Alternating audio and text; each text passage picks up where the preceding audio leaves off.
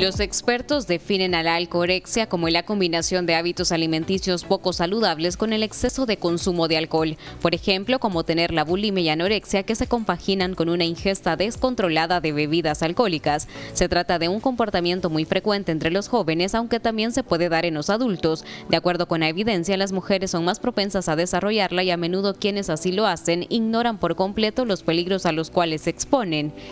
Existen indicios de que la alcorexia es más común en personas que hacen actividad física y quienes tienen un historial de control de peso al comer.